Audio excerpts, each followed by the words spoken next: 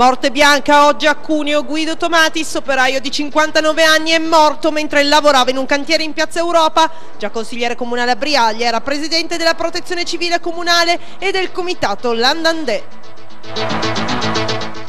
Da Saluzzo il Piemonte ha detto no alla mafia ricordandone le vittime. 8.000 studenti hanno partecipato alla manifestazione regionale di Libera.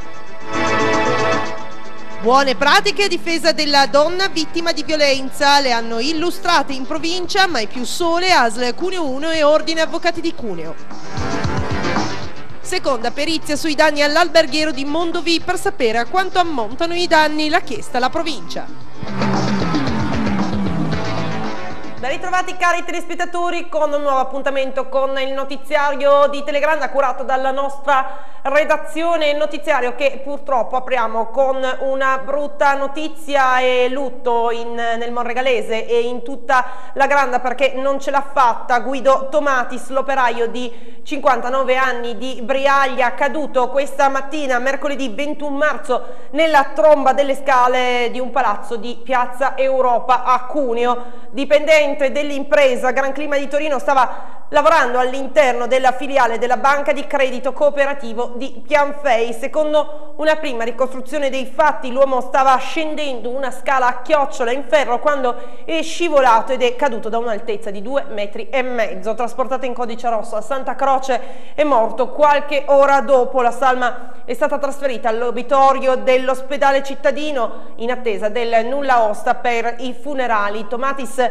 era stato consigliere a Briaglia e attualmente era presidente della protezione civile comunale e del comitato Landandè, il sentiero naturalistico di 22 km che collega il paese con Vicoforte, Niella Tanaro e San Michele Mondovì. Lascia la moglie ma anche due figlie.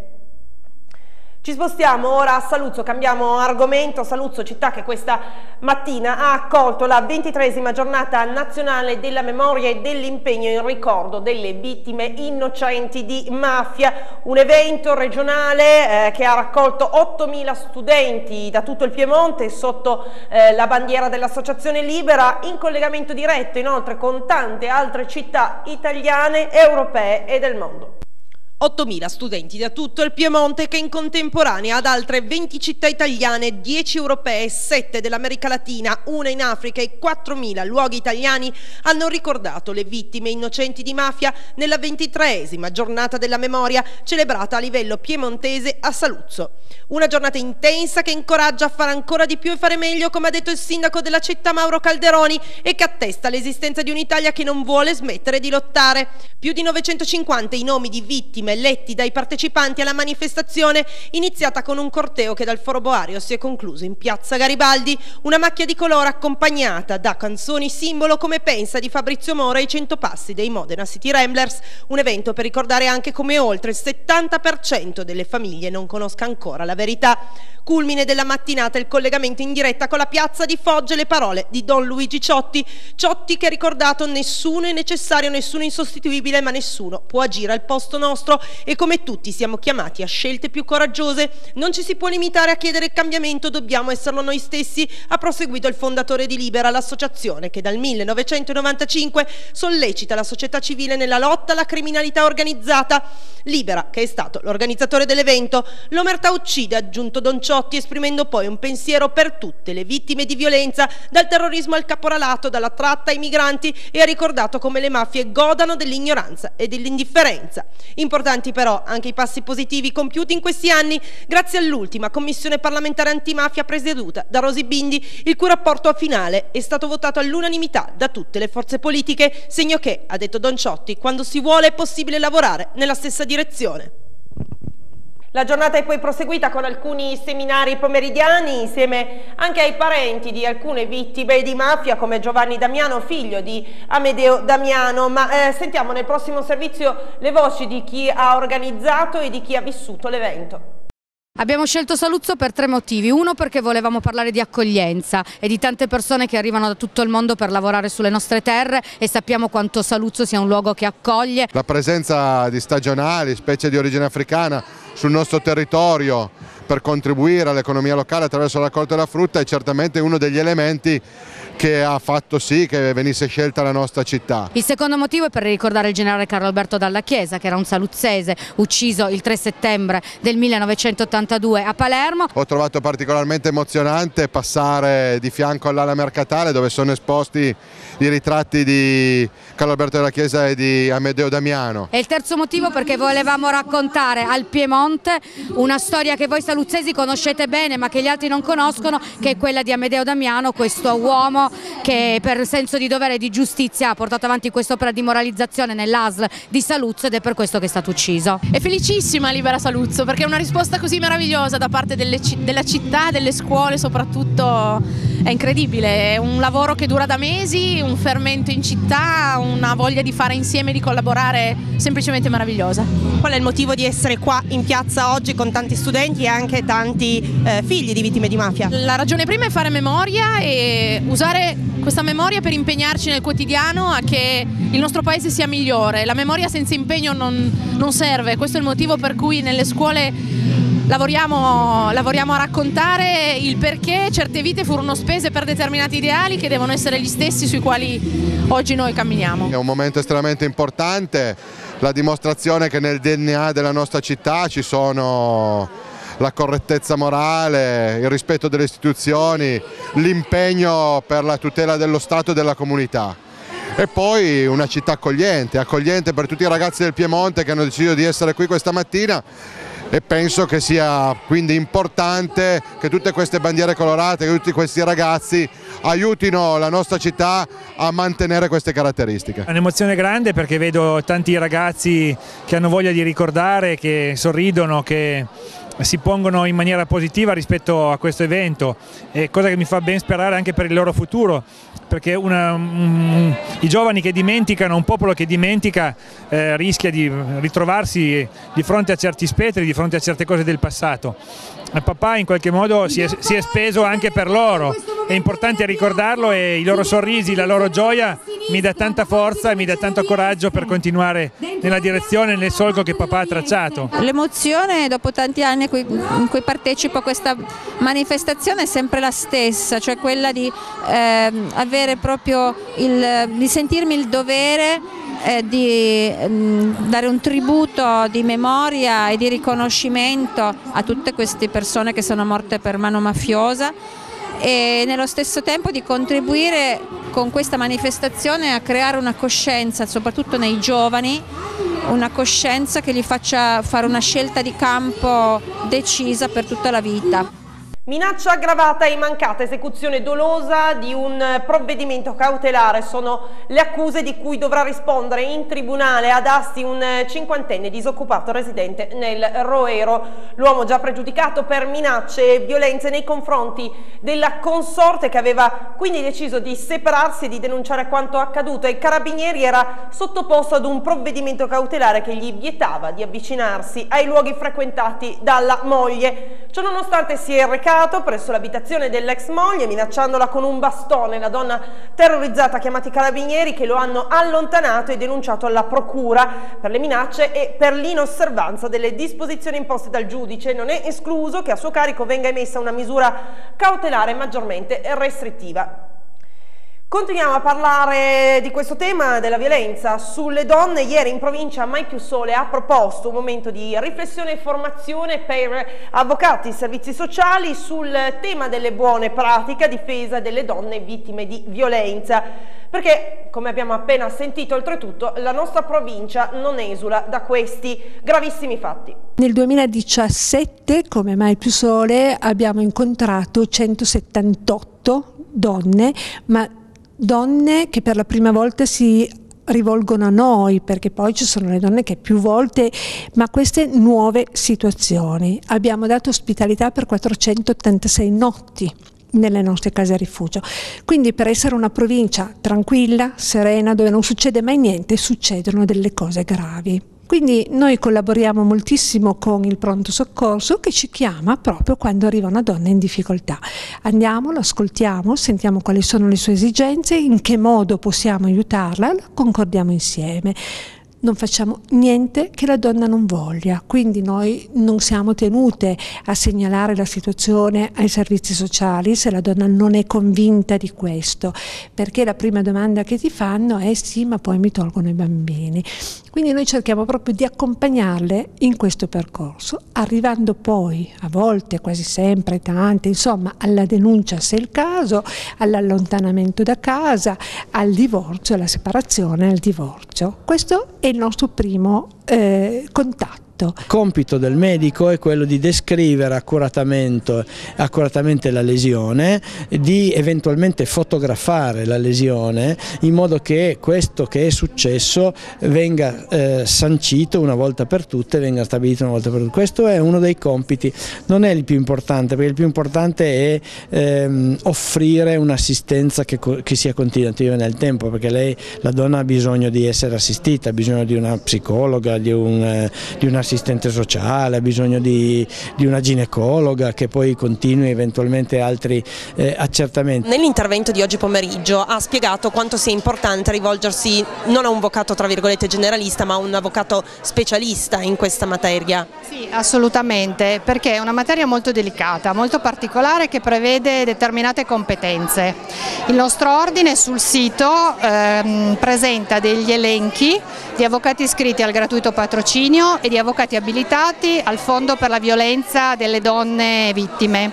È un fondo regionale che è stato istituito nel 2016 e che è molto importante per una tutela effettiva perché diciamo, lo Stato ha voluto intervenire con una eh, decisione non solo di principio ma anche con dei riflessi pratici molto importanti, cioè di agevolare l'accesso alla giustizia con l'assistenza legale gratuita.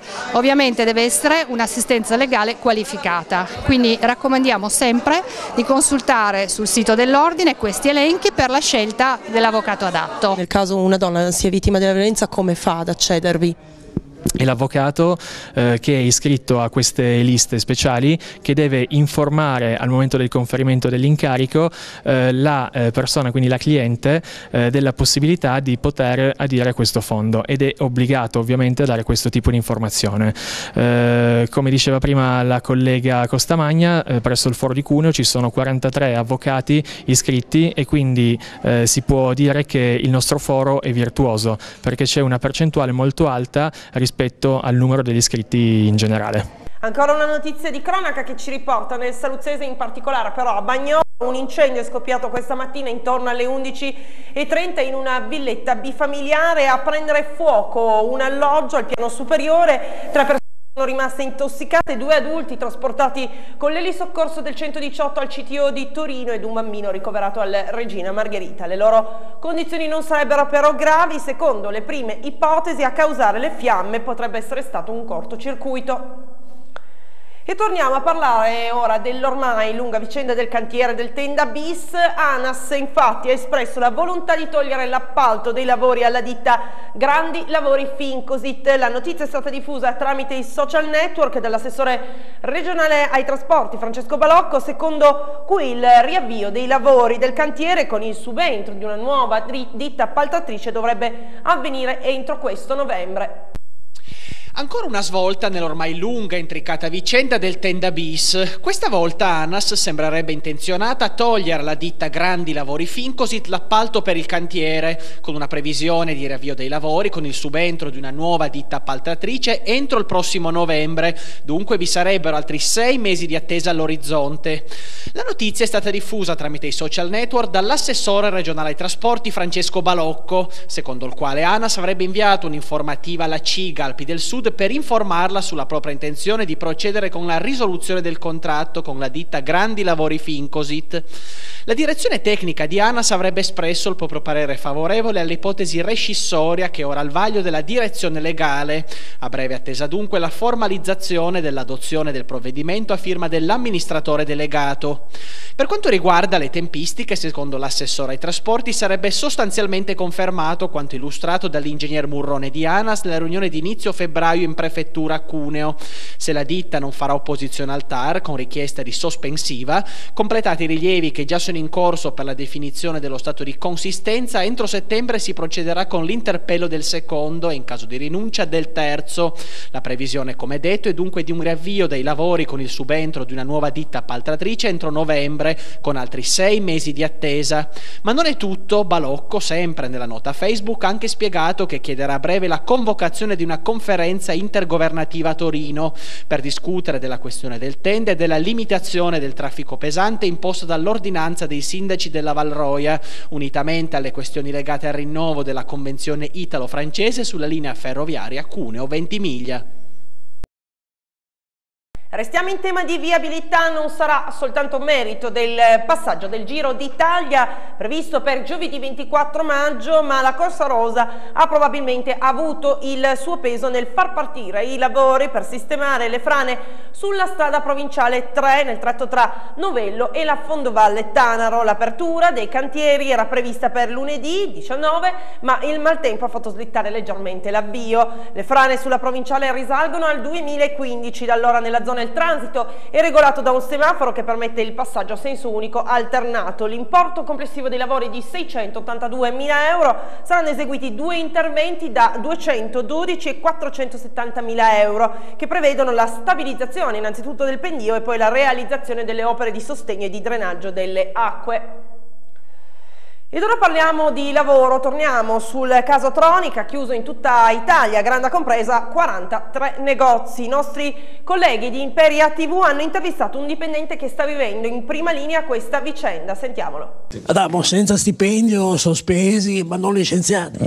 Esatto, sospesi, non licenziati, non abbiamo possibilità di sapere se possiamo prendere un altro lavoro, dobbiamo semplicemente aspettare di capire oggigiorno il, sindacato che ci dà una mano per poter eh, riavere qualcosa di nostro, quindi dallo stipendio o la possibilità di un altro lavoro. Non siete soltanto Imperia in crisi, ma un po' tutta Italia. Sono in tutta Italia, sono 43-45 punti vendita perché comprende Liguria, eh, Piemonte, Lombardia, Veneto, Friuli e Puglia. Come sei arrivati a questa situazione?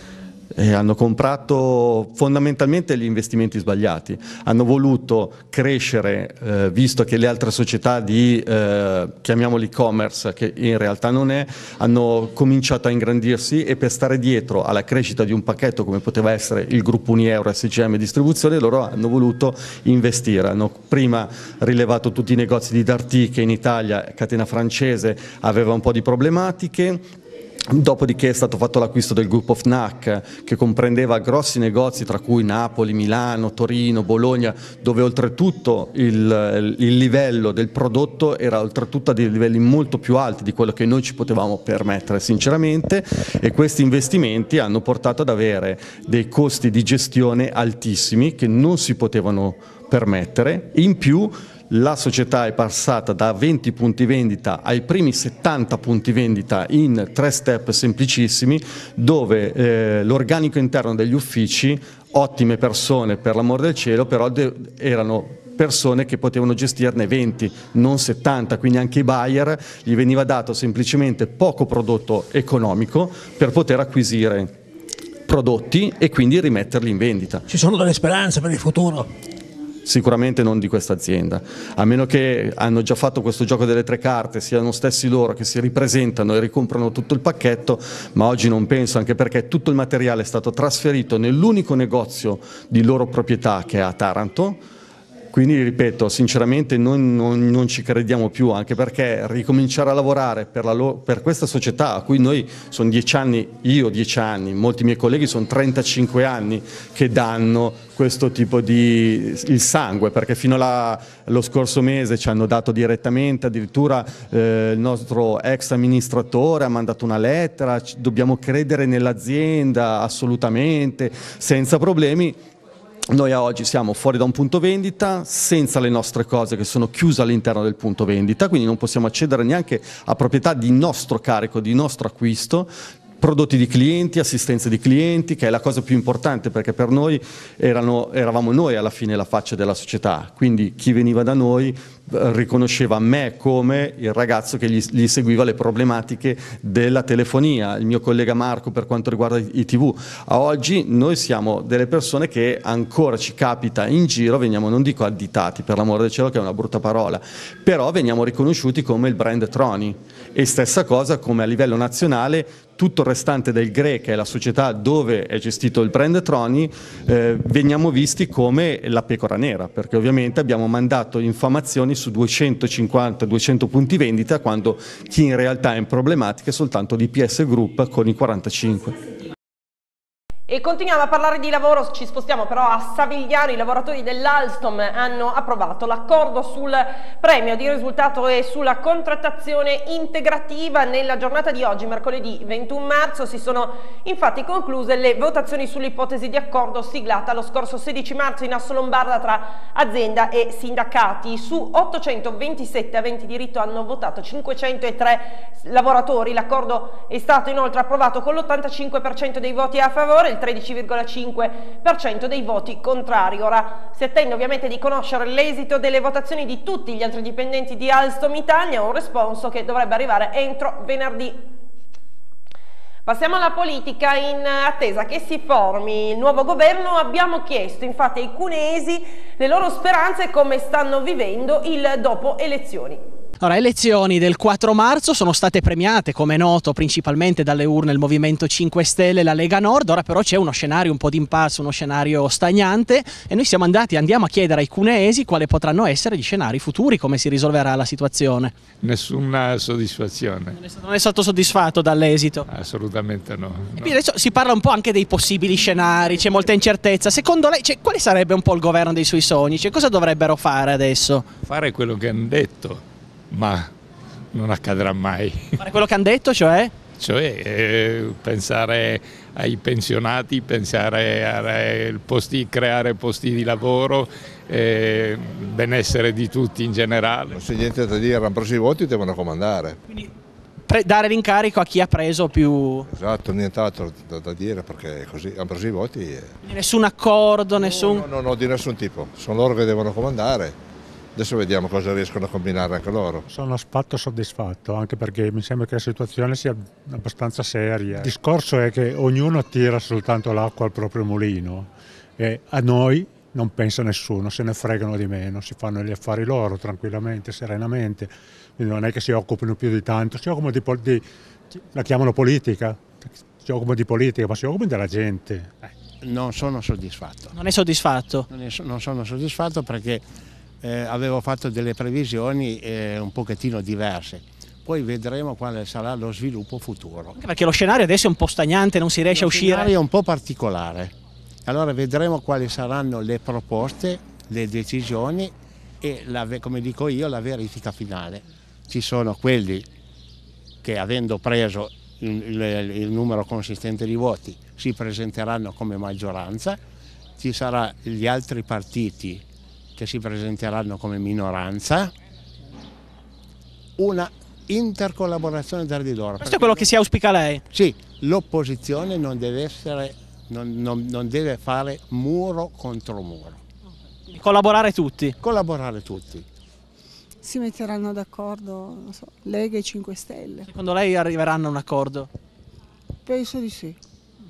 Sono ottimista, penso di sì, ma tanto la base è la legge elettorale, l'hanno fatta apposta per, fatta apposta per fare, creare questo. Mi auspicherei che il Presidente della Repubblica prenda qualche decisione in merito e che riesca a convincere questi signori a trovare un accordo. Certo, quindi le 5 Stelle hanno preso molti voti, la Lega anche, come, come se ne uscirà? Eh, non lo so, vedremo, staremo a vedere. Venerdì e sabato si svolgerà la nuova edizione del convegno Wedge, più di 150 specialisti provenienti da tutta Italia si incontreranno nella città degli Acaia per discutere e trovare soluzioni innovative sulle malattie cardiovascolari che, lo ricordiamo, sono, eh, rappresentano la principale causa di mortalità nel nostro paese. Il convegno è organizzato dal direttore del Dipartimento Emergenze e Aree Critiche dell'ospedale Santa Croce Carle di Cuneo, Alessandro Alessandro Locatelli, coadiuvato da Claudio Grossi e Giuseppe Musumeci, che sono rispettivamente i direttori delle strutture complesse di cardiochirurgia e cardiologia dello stesso ospedale. L'obiettivo del meeting, spiega Locatelli, sarà l'analisi delle problematiche comuni a cardiochirurgia, anestesia e cardiologia con riferimento ai possibili scenari terapeutici innovativi. Ora a Mondovì per parlare di scuola, in particolare dell'alberghiero Giolitti, perché la provincia ha affidato una nuova perizia. L'obiettivo è capire quanto ammontano i danni subiti a seguito della frana che ha travolto la torretta dell'istituto. Ormai sono trascorsi quasi tre mesi dalla frana che ha mangiato la terra al fianco dell'istituto alberghiero di Mondovì, ma la scuola resta ancora chiusa. Le uniche novità arrivano sotto il profilo di indagine, questa volta da parte della provincia che ha recentemente affidato una seconda perizia ad uno studio tecnico di Cuneo per quantificare con precisione l'ammontare dei danni provocati dal distaccamento della frana. I tecnici non si sbilanciano in pronostici, ne lo fa la provincia in merito alla domanda più urgente, quella posta proposta dal collegio docenti in riferimento alla riapertura della scuola, dove circa 800 studenti conducevano soprattutto le attività di pratica nei laboratori di cucina e sala. Serve capire se la porzione d'istituto dove ci sono le cucine e i laboratori sia sicura, ha detto ai mezzi di informazione la consigliera Milva Rinaudo, cui compete proprio il settore scolastico, e se gli studenti possono farvi ritorno. Capisco le ragioni di chi come docenti e preside premono per tornarvi, ma al momento siamo siamo tutti in doverosa attesa di risposte che solo i tecnici e i professionisti possono darci. La più urgente, possiamo riaprire e se sì in che tempi ancora non lo sappiamo. Intanto sono arrivati a livello provinciale i fondi che l'ente potrà investire sulle scuole della Granda. Si tratta di 2 milioni e 460 mila euro. Ne beneficeranno le scuole di Fossano, Cuneo, Mondovì, Grinzane, Racconigi, Saluzzo, Savigliano e Alba. Sono le otto città dove ci sono le superiori per cui la provincia interverrà a breve con manutenzione e adeguamento di sicurezza. E concludiamo con una notizia di carattere sportivo. Il 2018 a Brasi ha aperto all'insegna di importanti trionfi grazie ai risultati ottenuti a livello nazionale e internazionale da atleti e squadre braidesi. Dopo l'omaggio alle campionesse dell'hockey, reduci da una stagione colma di successi, ieri l'amministrazione comunale di Bra ha ricevuto durante la settimanale riunione di giunta Fabio Carne Bianca che nei mesi scorsi si è aggiudicato la medaglia d'oro ai campionati europei di Brazilian Jiu-Jitsu, categoria 94 kg. Complimentandosi per i risultati ottenuti e sottolineando l'imprescindibile valore educativo dello sport, il sindaco Bruno Sibile e gli assessori hanno consegnato a Carne Bianca una targa ricordo quale omaggio e ringraziamento a nome della città. Presenti in sala, oltre al campione europeo, anche il fratello, i fratelli e il padre Antonio che è fondatore del centro judo cittadino. Bene, per il momento dalla redazione di Telegranda è tutto, noi naturalmente come sempre vi ringraziamo per averci seguito, vi ricordiamo l'appuntamento con Granda Mattina domani mattina dalle 6 alle 8.30, buon proseguimento.